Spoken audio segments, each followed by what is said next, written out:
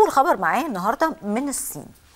في فترة ال lockdown وفترة العزل اللي كل العالم يعني عانى منها ومر بيها أثناء كورونا كان في راجل صيني صاحب محل عنده طفل بيعاني من مرض نادر جدا. وهو حاجة ليها علاقة بنقص النحاس في الجسم.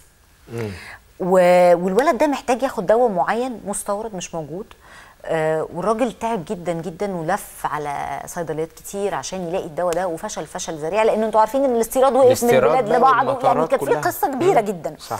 وحتى المواد الخام المستوردة ما بقتش تيجي فالأدوية ما بقتش تتصنع كمان الأدوية اللي بتعتمد على المواد آه. الخام دي فالولد كان آه، ظروفه صعبة وحالته صعبة فقرر الراجل إيه ده الأعراض بقى قرر عايزين ندور عليها ما أعرفش اسمه حتى. اسمه المرض اسمه لو أنا بنطقه صح مينكس الناتج عن نقص تمثيل النحاس في الجسم.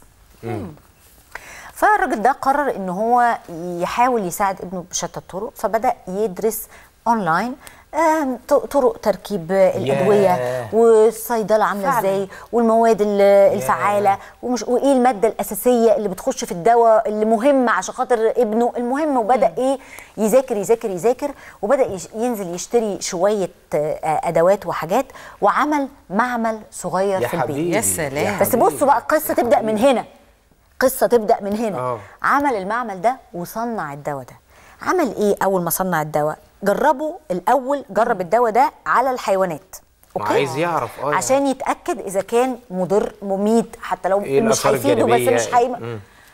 عدوا الحيوانات من الموضوع. بعد كده حقن نفسه هو بالدواء ده يا عشان يشوف رد فعله هو ناحية الدواء. عايز يتأكد إن الدواء مش مميت لأن الدواء فيه مادة فعالة. وهو مش ده اسمها آه. هستidine النحاس المادة دي اسمها هستidine النحاس. غالبا دي بيور نحاس أو حاجة كده أنا مش فاهمة. فهو خايف جدا لا يكون التركيبة اللي هو عاملها مش, خطيرة. فحقن نفسه. فلقى نفسه عدى عمل إيه؟ أخذ القرار الشجاع وقرر إنه يحقن ابنه بالدواء ده. راجل عمره ما اشتغل صيدلي ولا طبيب ولا يعرف حاجة. لكن حقن قعد ابنه درس زي ما انت بتقولي. حقن ابنه آه. واخده على المستشفى فورا. عشان لو في أي حاجة. عشان لو في أي حاجة يلحقوه.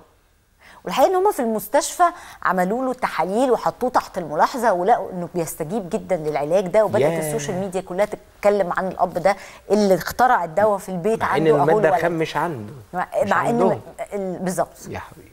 يا حبيبي ده صغير قوي. ياه. ما هو غالبا بص صنع الماده. الخام بص أساسا. إيه ده؟ آه بص الحب. الحب والإخلاص. بص قد إيه يا أولاد الأبهات والأمهات بيعملوا. بالظبط.